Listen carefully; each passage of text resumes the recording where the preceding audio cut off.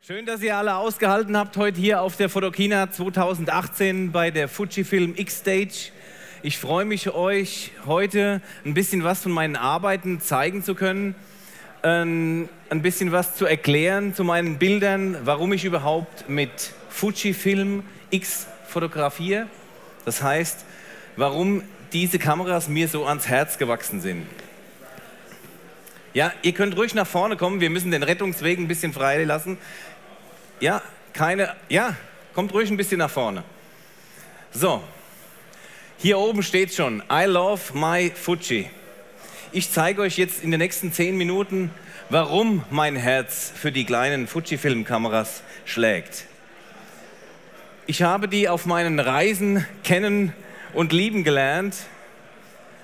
Aus folgendem Grund, man sieht es ganz gut auf diesem Bild schon, auf der einen Seite ist so eine alte DSLR-Kamera, die ich vorher genutzt habe und rechts davon ein bisschen kleineres Equipment. Das heißt, wenn ich auf Reisen gehe, gerade für Jobs und so weiter, für Fujifilm zum Beispiel, immer mit einem riesen Gepäck am Start zu sein, großen Koffer hinter sich herzuziehen mit fünf, sechs, sieben Objektiven und äh, Blitzen und viel Equipment, hat mich das irgendwann mal genervt. Ja? Irgendwann habe ich gesagt, ich brauche etwas Kleines, Handliches, das ich immer dabei habe. Ja? Und somit bin ich auch zu den Fujifilm X-Systemen gekommen. Hier zum Beispiel eine oder meine Lieblingskamera, die XT2, jetzt natürlich der Nachfolger, die XT3, die nochmal von den Features her wirklich deutlich zugelegt hat. Ja? Schaut euch hier am Messestand äh, beim Touch and Try diese Kamerasysteme einmal an, nehmt sie in die Hand, testet mit eurer eigenen Speicherkarte und schaut euch zu Hause die Ergebnisse an. Ja? Testet vor allem mal den Autofokus, ja, was sich da alles geändert hat. So, warum mag ich diese Kamera so? Weil es halt eine Kamera ist oder ein Kamerasystem, das ich immer dabei habe. Hier zum Beispiel war ich mit ein paar befreundeten Fotografen letztes Jahr, oder ach, das sind schon wieder eineinhalb Jahre her, in Tokio gewesen, ja. Wir sind eines Nachts ähm, durch Tokio gelaufen. Ich fand diese äh, Straße ganz cool, weil halt viele Lichter und so weiter. Man sieht es oben in der Mitte, die Regentropfen. Es hat ziemlich stark ge geregnet, ja. Und ich bin beim Laufen mit dieser Kamera, die ich umhängen hatte, ja, über diesen Zebrastreifen gelaufen. Und ich dachte mir, man kennt es von Deutschland, so ein Zebrastreifen, das ist ein Hoheitsstreifen. Ja? Jeder wird stehen bleiben, wenn du da langsam über diesen Zebrastreifen läufst. Dieser Taxifahrer hat es anders gesehen. Wie mir danach berichtet wurde, gelten diese Regeln dort also nicht. Das ist die Ampel immer noch die Hoheit. Ja? Also er war entsetzt, dass ich, über, dass ich so langsam über diesen Zebrastreifen laufe mit der Kamera und habe ein Bild gemacht. Hier mit, äh, mit diesem kleinen Aufsteckblitz von Fuji. Man sieht den Taxifahrer auch so richtig angeleuchtet, ja. Also dieses Bild, was ihr hier seht, ist aus dem Laufen heraus entstanden mit einer Zoom-Bewegung vom Objektiv und einmal mit dem Blitz abgedrückt. Ja? Und das funktioniert natürlich nur mit dem kleinen System, das du umhängen hast und wie gesagt immer dabei hast. Ja? Deshalb liebe ich diese kleinen Kameras so. Hier zum Beispiel, das war letztes Jahr in Vietnam, da habe ich ein paar äh, Bilder gemacht für Fujifilm. Diese Frau, die wir hier sehen, die ist schon aufgrund dessen, dass sie Asiatin ist, ziemlich klein. Dann ist sie zusätzlich noch ziemlich alt gewesen und kommt mir auf einem Markt entgegen, ungefähr auf 1,20 Meter Höhe, habe ich diesen Hut gesehen. Ja? Das heißt, das Gesicht dieser Frau habe ich überhaupt nicht gesehen, nur den Hut von oben.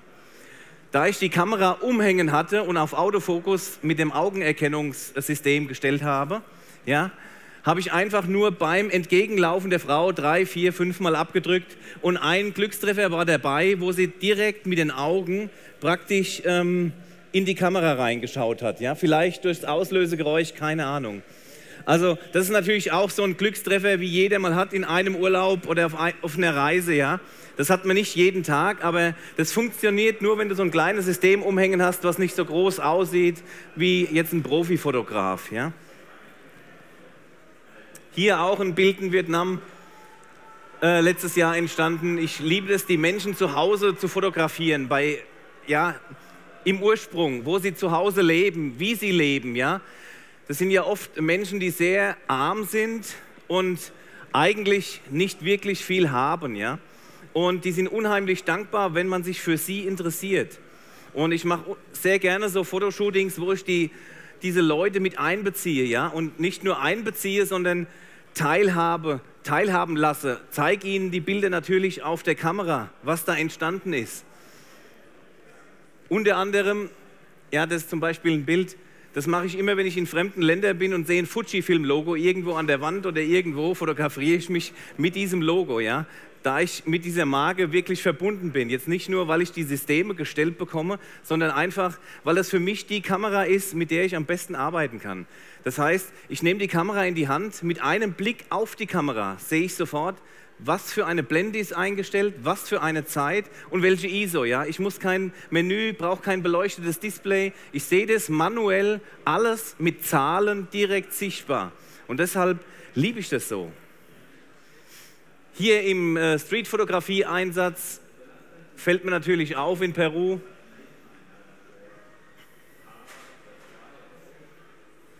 Das war bei einer Fujifilm Paraglide-Expedition das ist jetzt schon fünf oder sechs Jahre her. Auf dem Machu Picchu sind wir praktisch mit dem Gleitschirm gestartet und äh, ins Tal geflogen. Was wir nicht wussten, ist, dass man vom Machu Picchu eigentlich nicht fliegen darf.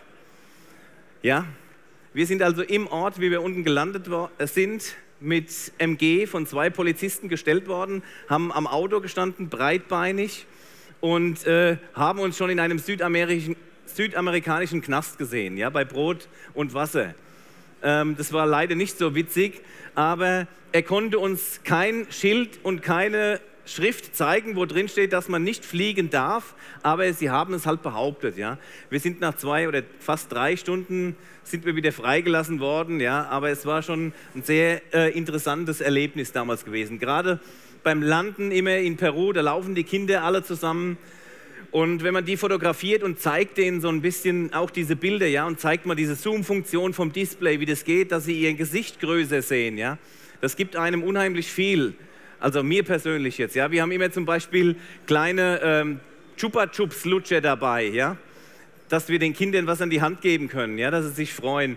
Und das zum Beispiel dieses Mädchen, wir sind zwei Tage am gleichen Ort mit dem Paragleitschirm geflogen und ich habe dem Mädchen einen Chupa Chups Lutscher gegeben mit so einem neongrünen Kaugummi. Ja, das war morgens um 11 oder 12 Uhr Vormittag. Ja, am nächsten Tag fliegen wir. Um 16 Uhr lande ich auf dieser Wiese und das Mädchen kommt so auf mich zugerannt beim Landen mit diesem neongrünen Kaugummi im Mund. Ja, das heißt, über 24 Stunden später war dieser neongrüne Kaugummi noch im Mund und ich habe das gesehen und ja, das sind einfach Emotionen, wo man aus, von so einer Reise mitnimmt, ja. Hier zum Beispiel in Kambodscha, das ist zwei oder äh, drei Jahre her, ähm, eine Aufnahme in einem Tempel von so einem kleinen Jungen. Das ist ja immer so, die wissen natürlich schon, dass es Kohle gibt, wenn man die fotografiert. Ja, dann machen sie extra immer so einen Blick. Sie gucken in die andere Richtung, um nicht fotografiert zu werden ohne Geld. Das habe ich hier in diesem Fall genutzt. Das ist also wirklich ein Schnappschuss, wo der Junge auf diesem Stein sitzt und dreht sich ein bisschen auf die Seite. Hier sieht man ganz gut im Augenlicht, dass da wirklich nur zwei kleine Lichtquellen vorhanden waren, ähm, die diese ganze Szene ausgeleuchtet haben hier damals mit einer XE1 fotografiert, wo jeder gesagt hat, ja, mit diesem Autofokus, das funktioniert nicht bei bewegten Objekten und so weiter. Ich habe hier in einem Tuk-Tuk gesessen. Tuk-Tuk kennt jeder, so ein Dreirad, wo oft in, in diesen asiatischen Ländern fährt, ja. Und auf dem Schoß liegend ein California Sunbounce. Das ist so ein goldener Reflektor, ungefähr 1,20 Meter breit, liegt bei mir auf dem Schoß, ja. Und ich habe zu diesem Tuk-Tuk-Fahrer gesagt, bitte fahren wir irgendwo hin, so ins Hinterland, wo die Leute wohnen, wo man ein bisschen Ruhe hat, abseits vom Tourismus. Wir fahren so einen kleinen Schotterweg irgendwo in so ein kleines Bergdorf. Und plötzlich sehe ich nur, wie so eine Traube Kinder, 10, 20 Kinder hinter unserem Tuk-Tuk herrennt. Der Tuk-Tuk-Fahrer hat sich alle 10, 20 Sekunden rumgedreht. We can't stop here. never, no, no. Und ich habe immer gesagt, er soll doch bitte stehen bleiben. Nein, er bleibt nicht stehen, weil die nehmen uns das Tuk-Tuk aus der Hand. Die haben natürlich nur so einen kleinen, dicken deutschen Fotografen gesehen, der da mit einem goldenen Backblech irgendwie in unser Ort, in unsere Stadt reinfährt. Was macht er da? Was bringt der für Gaben? Ja? Und man sieht ganz gut den Sunbounce-Reflektor noch in den Augen. Im rechten Augenlicht sieht man ganz gut. Ich konnte den natürlich gar nicht halten zum Ausleuchten oder so. Der hat einfach nur bei mir auf dem Schoß gelegen. Und dieses Bild ist also wirklich im fahrenden Tuk-Tuk entstanden. So, auch auf Hochzeiten nutze ich sowas zum Beispiel. Kleine Systemkameras, spiegellos. Ja? Das heißt, ich kann das Auslösegeräusch ausschalten. Ihr wisst es alle, wenn ein Fotograf in der kleinen Kapelle mit so einer DSLR-Wumme vor euch steht, ja, gerade beim Ring anstecken und vielleicht noch ein Liebeslied im Hintergrund läuft, wo so eine Gospelsängerin singt, ja, und ihr steht da vorne, bum, bum, bum, Jetzt versucht mal auf dieser Hochzeitsveranstaltung noch ein paar coole Bilder zu bekommen. Die ganze Hochzeitsgesellschaft hasst euch. Das war der Fotograf, der uns alles in der Kirche schon kaputt gemacht hat, ja? Also deshalb liebe ich eigentlich diese kleinen Kameras, denn sie sind wirklich super kompakt. Ich muss dazu sagen, ich habe hier eine Hochzeit fotografiert damals mit einer X100. Ja, wenn du natürlich morgens vor dem Brautpaar an der Klingel stehst, klingelst und hast so ein Ledertäschchen umhängen, ja, dann macht die erstmal die Tür auf und du sagst, ja, ich bin der Fotograf, oh, ah, dann siehst du richtig, wie im Kopf das PDF-Angebot von vor drei Monaten aufgerufen wird. Was kostet der? Ey, der hat nur so ein kleines Ledertäschchen umhängen, ja. Wenn ihr aber dann so ein bisschen was an Ergebnissen dem Brautpaar natürlich zeigt und die sehen, was wirklich aus so einer kleinen Kamera rauskommt, ist es unheimlich gut, ja. Ich mache oft noch so eine In-Camera-RAW-Konvertierung. Das heißt, ich kann meinen RAW-File in der Kamera umwandeln in ein JPEG. Ja, das heißt, ich kann einen Bildlook drüber legen, kann zum Beispiel sagen, ich hätte das Bild gerne in Schwarz-Weiß und zeigt es dem, diesem Brautpaar dann, ja, und dann ist gleich so ein bisschen ein besseres Gefühl da. Früher habe ich gedacht, warum brauchst du denn überhaupt eine In-Camera-RAW-Konvertierung? Wir haben doch alle Lightroom, Capture One und diese ganzen RAW-Konverter zu Hause. Ich mache auf meinen Reisen aber immer sehr gern Bilder, druck die dann auf so einem kleinen, ja, kabellosen Drucker aus. Der passt immer in die Hosentasche. Die Akkuladung, die hält wirklich circa drei bis vier Wochen. Ja, bei mir. Ich kann euch nur sagen, wer Reisefotografie betreibt, legt euch so ein Ding zu. Ja, das ist jetzt von Fujifilm ein SP3-Drucker, das ist ein Square-Format. Ähm, wenn ihr fremde Menschen in, gerade in ärmeren Ländern fotografiert, ja, und entwickelt kurz vor Ort noch so ein Bild in der Kamera, druckt es dann aus und gebt denen was an die Hand. Ihr habt sie ja fotografiert. Ihr gebt praktisch was zurück. Ja? Das ist Gefühl, Emotion und ein Erlebnis, was ihr plötzlich bekommt, was ich nicht mit Worten beschreiben kann. Ja? Also ihr könnt euch vorstellen, ich bin äh, in Vietnam an der Grenze zu Laos und fotografiere mit meiner Fujifilm-Kamera und plötzlich sieht dieser Mann, ähm, dass ich fotografiere und da hat er gesagt, ob er seine Orden rausholen soll. Und ich habe natürlich gesagt, ja, deine Orden, keine Ahnung, hol die halt raus. Und er kam mit seiner Uniform und hat die Orden angeheftet und war super stolz, dass ich ihm ein Bild an die Hand gegeben habe. Der äh, Tourguide, den ich hier dabei hatte, der hat den, äh, den älteren Mann gefragt, wie alt er denn wäre. Er ist also 103 Jahre alt und hat alle Vietnamkriege überlebt, ja, und hat noch nie in seinem Leben vorher ein Bild ausgedruckt in seine Hand von sich gehalten, ja. Und dieses Erlebnis, was da zurückkommt, ja, da kommt plötzlich die ganze Stadt, das ganze Dorf kommt zusammengelaufen und schaut sich an, ey cool, der hat echt ein Bild. Ihr seht hinten dran noch die Schweine, also die leben echt unter ärmlichsten Verhältnissen, haben noch nie sowas bekommen. Und das kostet uns einen Euro, dieser Ausdruck, ja, aber was da zurückkommt, die wollen dich zum Essen einladen, die zeigen dir alles. Es ist ein wahnsinniges Gefühl. Ja? Hier so ein paar Beispielbilder über die Leute, die sich immer über so einen Ausdruck freuen.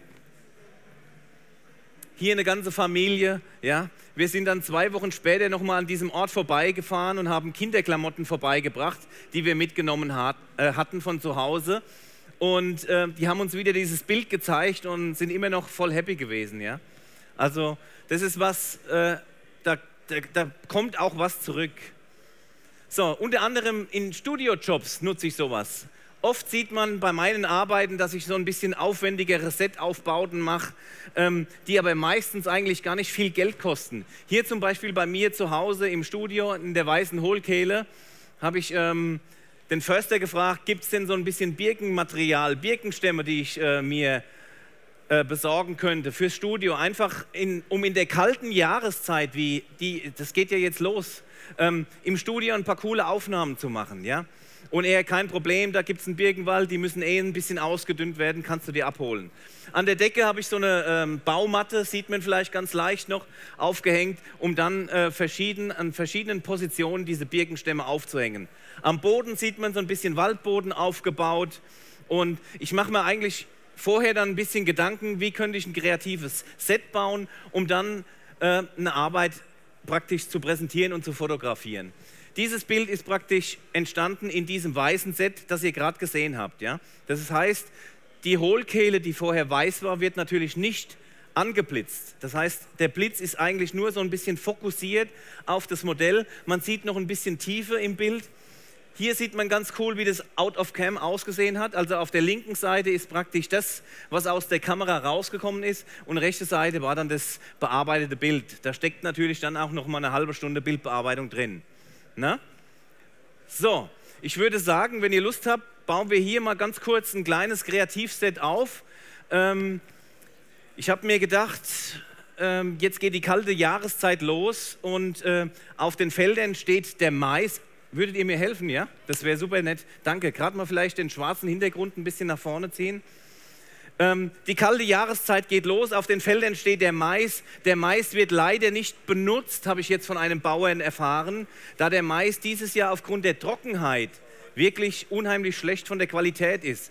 Und der Verkauf würde mehr Arbeit ausmachen, wie der Mais eigentlich wert ist. So, ich habe mir Gedanken gemacht, wie bekomme ich denn das Maisfeld bei mir ins Studio? Ja, wenn es jetzt losgeht mit dem Regenwetter, ich will den einfach so ein bisschen zum Probieren zu Hause im Studio haben. Und äh, mein befreundeter Fotograf, der Jens Burger, der hier gerade mithilft beim Aufbauen, vielleicht mal ein Applaus für unsere X-Fotografen von Fujifilm, die nicht nur Fotografen, sondern auch äh, Assistenten sein können.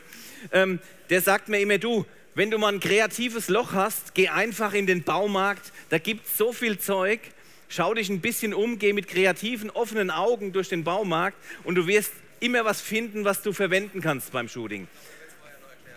So, hier zum Beispiel habe ich diese Rasendrainagemattenplatten gefunden, ja. Jetzt fragt man sich, was will der mit diesen Rasenmatten, was, was hat er da vor? Ich habe einfach eine Möglichkeit gesucht, wie ich diese Maisstauden ohne kompakt in eine Blumenvase zu stellen, irgendwo im Studio auf eine breite Fläche verteilen könnte.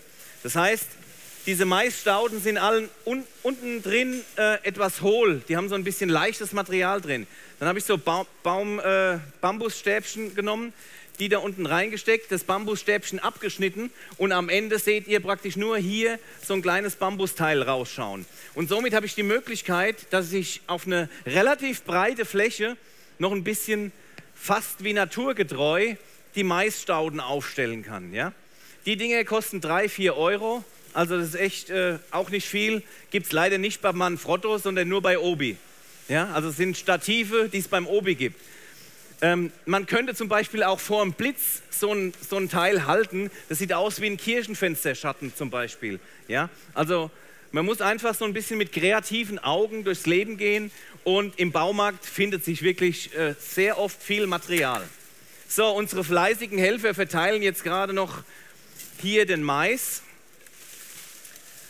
Zum Mais selber und zu diesem Setaufbau. Wir können natürlich jetzt hier nicht das zeigen, was ich im Studio machen würde. Da hätte ich mehr Platz. Rechts davon würde ein Blitz stehen, links davon würde ein Blitz stehen. Rechts fällt hier weg, da diese Mauer vom Messestand zu sehen ist. Ja? Auf der linken Seite müssen die Zuschauer ein bisschen zurück, aber das funktioniert schon. Da ist ein Wiederholungstäter, der sitzt immer bei uns im Fuji-Vortrag, sehe ich gerade. Ne? Roman, hallo, servus. So, wir bauen dieses Maisfeld so ein bisschen breit gefächert auf. Das heißt, ich versuche natürlich auf den Bildern ein bisschen ähm, Tiefe zu erzeugen. Tiefe, was meint man mit Tiefe in einem Bild? Ihr kennt es alle, wenn ihr offenblendig fotografiert, sehen oft die Modelle, die ihr fotografiert, freigestellte aus. Das heißt, der Hintergrund ist oft unscharf und das Modell an sich wirkt scharf. Ja? Das wollen wir natürlich hier jetzt auch machen. Das heißt, den Hintergrund, hier diese Maisstauden, die wollen wir ein bisschen unscharf gestalten. Dann vorne in die Mitte werde ich ein Modell reinstellen und dann haben wir verschiedene Ebenen in unserem Bild. So, wie weit sind wir? Eins bräuchte ich, ein so ein Halm.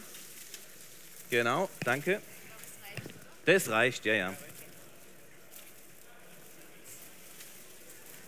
So, so werden die praktisch eingestellt und stehen dann im Studio eigentlich perfekt. Ist so eine Low-Budget-Variante. Ihr könnt nachts, wenn es dunkel ist, natürlich aufs Maisfeld und könnt euch die Dinge abcutten. Ja, lasst euch nur nicht erwischen. Ich habe ganz offiziell den Bauer gefragt. Er hat gesagt, ja, ja, nimm mit, was du brauchst, weil äh, der Mais ist nichts wert. Heuer wird es so sein, dass der Mais nicht verfüttert wird und nicht verkauft wird, weil es zu wenig gibt für die Arbeit, die nötig ist. Das heißt, der Mais bei den meisten wird nur umgemulcht. So, wir haben unser Set, wir haben unsere Blitze hier aus dem Hause Pro Foto. Was ich ganz cool finde, solange das Wetter noch gut ist, könnten wir den auch mitnehmen, denn er hat kein Kabel. Ja? Das ist eine unheimliche, ein unheimlicher Vorteil. Das ist ein Akkublitz, der bestimmt 300, 400 Auslösungen hält, den man überall hin mitnehmen kann. Ja? Ähm, wir haben hier nur eine begrenzte Auswahl an Softboxen. Ich habe jetzt bewusst mal eine etwas kleinere, so einen Beauty-Dish gewählt. Den noch nicht anmachen, Jens. Ähm, hier so einen kleinen Beauty-Dish gewählt, um unser Modell jetzt auszuleuchten. Wir haben unsere Blitze, wir haben unser Low-Budget-Set, wir haben unsere Kamera. Hier in diesem Fall jetzt, was habe ich auf der Bühne zur Verfügung? Eine XH1 aus dem Hause Fujifilm.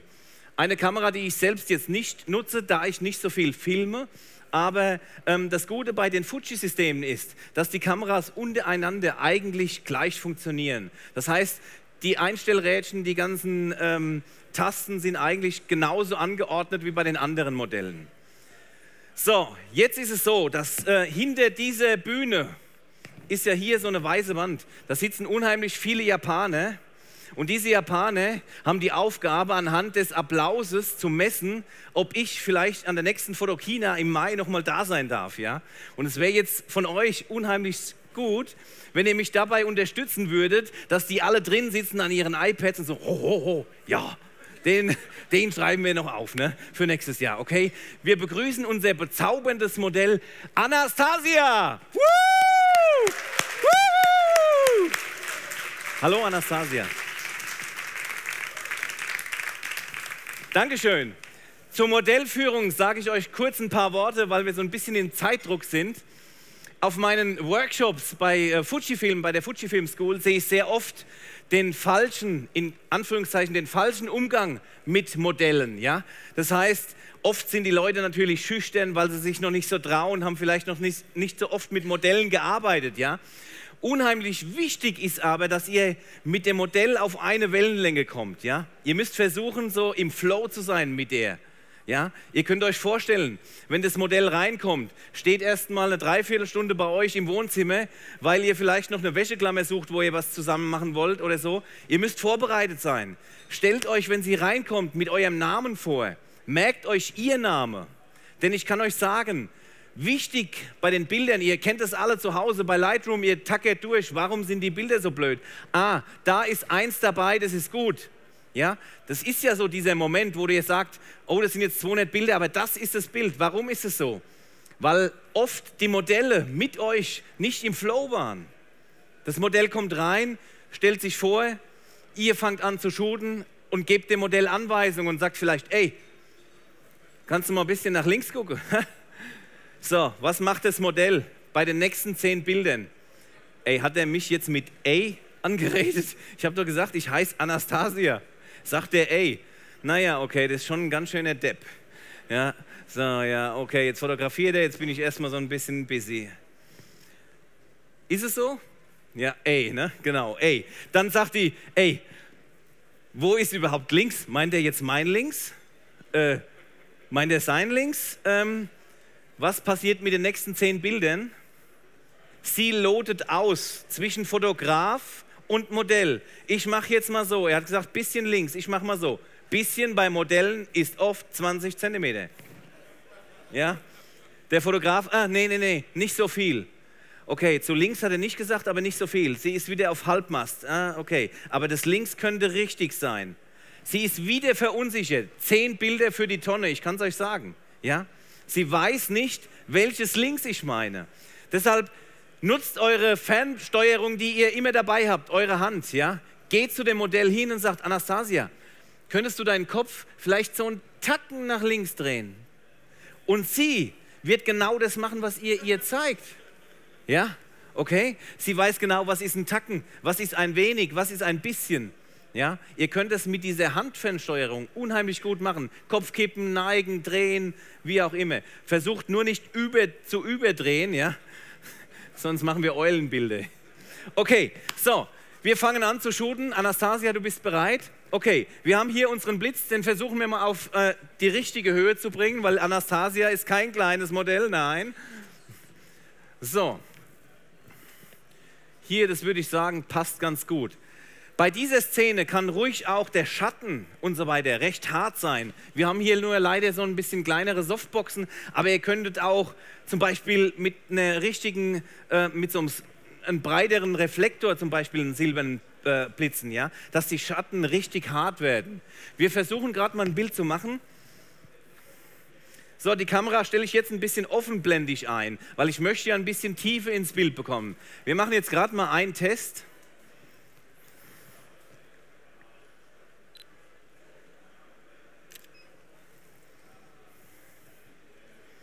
So, das sieht schon mal ganz gut aus von der Grundbeleuchtung, ja? Das heißt, wir haben hier ein Maisfeld. Bei mir im Studio würde ich das Ganze natürlich noch ein bisschen breiter ziehen, ja? Ähm, aufgrund der äh, Distanz und der Fläche hier, wenn ich jetzt hier weitwinklig fotografieren würde, hätte ich den Jens Burger drauf, was natürlich super schön wäre, aber jetzt für die Szene hier äh, unpassend. So, ähm, macht euch nicht zu viel Gedanken über die perfekte Ausleuchtung, ja? Geht nach eurem Gefühl, macht den Blitz ein bisschen heller, wenn es euch zu dunkel ist, macht die Blende weiter auf, wenn es euch zu dunkel ist, ja. Fangt nicht an und geht mit dem Belichtungsmesser hin und messt aus, geht wieder zurück, das Modell wird wahnsinnig. Ja, was macht ihr denn hier überhaupt? Ja? Wenn es euch zu dunkel ist, hier einfach einen Tacken heller machen, zack, macht noch ein Bild. Anastasia, geht's dir noch gut? Wenn du Hunger hast, kannst du eine Maiskolbe nehmen, ne? Perfekt. So, jetzt schauen wir mal. Ja, ist etwas heller, passt super gut. Was mir hier jetzt noch nicht gefällt, ist, die Tiefe fehlt mir im Bild. Ja? Wir müssten jetzt versuchen, diese hintere Maisreihe noch ein bisschen anzuleuchten. Jens, wärst du so freundlich, vielleicht gerade mal den Blitz anzuschalten? Nicht auf den Hintergrund, bewusst nicht auf den Hintergrund richten, sondern auf die letzte oder vorletzte Maisreihe, das einfach so ein bisschen Streulicht noch nur die Maiskolben oder die Maisstauden ein bisschen aufhält. Ja? Der Hintergrund, der kann ruhig absaufen. Deshalb haben wir bewusst hier einen schwarzen Hintergrund gewählt. Auch anschließend, wenn ihr in die Bildbearbeitung geht, ist es echt eine coole Sache, wenn ihr einen Bildlook entwickelt und macht so ein Maisfeld-Shooting und man kann eigentlich nicht wirklich sehen, ist es in der Nacht passieren oder ist es drinnen, ist es draußen. Also der Bildlook, wo dann anschließend entsteht, ja, ist sehr speziell. So, jetzt schauen wir uns das gerade mal an.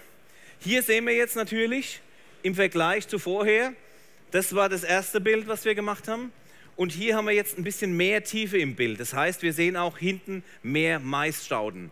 Das könnten wir natürlich jetzt noch ein bisschen ausbauen. Hinten ist noch ein bisschen viel Luft. Wir könnten noch so eine Rasenplatte reinstellen, um einfach ähm, das Ganze noch ein bisschen breiter zu fächern und dichter zu machen. Was ich auch gerne nutze, ist zum Beispiel ähm, auch wieder eine Ebene mehr zu bauen, hier so eine Maisstaude noch im Vordergrund zu haben, ja?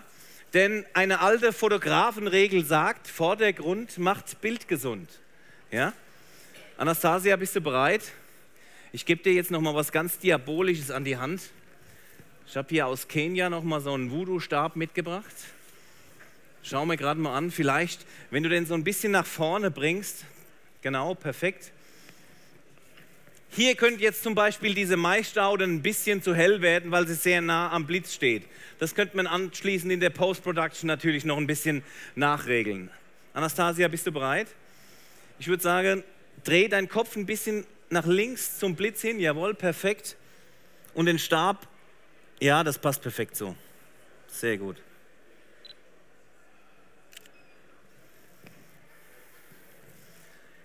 Schauen wir uns das Ergebnis an. Jawohl, die hinteren Maisreihen, äh, Maisreihen sind jetzt auch gut belichtet und ihr seht im Vordergrund im Vergleich zu dem ersten einfach noch so eine Maisstaude, die da reinkommt und uns so noch ein bisschen Tiefe gibt. Auch das könnt ihr noch weiter ausbauen. Zwei, drei Mais, Maus, äh, Maus, Maisstauden im Vordergrund aufbauen und ähm, ihr bekommt noch einen ganz anderen Bildlook. So, jetzt wird es zu Hause nachgebaut. Besorgt euch alle noch ein bisschen Mais für den Winter. Es wird eine harte Zeit. Es ist relativ einfach. Es gibt eine Riesensauerei. Die Japaner hassen mich immer. Deshalb kriege ich immer die letzte Show am Abend, ja, weil die Riesensauerei hier entsteht. Ähm, trotz der späten Zeit hat es mich unheimlich gefreut, dass ihr so zahlreich noch hier erschienen seid. Ich würde sagen, unser Modell war prima und dafür hat es einen tollen Applaus verdient. Die Anastasia. Dankeschön.